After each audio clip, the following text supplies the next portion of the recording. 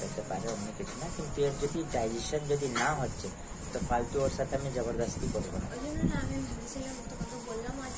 এটা বাচ্চার বাবা খেয়ে নেবে। হ্যাঁ? ও খাবে না।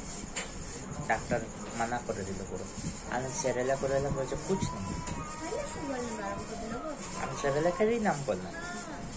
তুমি ছিলে কোথায় শুনলে কি? শুনতে পেলে না? শোনো। ওষুধ দিয়ে কথা তো